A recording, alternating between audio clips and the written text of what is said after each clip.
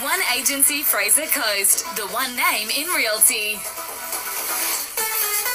Harbour Drive moving well past Stocklands. If you're heading on home early this afternoon, not a bad run out towards the roundabout and down Maryborough Hervey Bay Road. Pialba Burrum Heads Road looking fairly good for that westbound run out past Eli Waters. No dramas on Alice Street. And that's now looking fairly good around Ferry Street.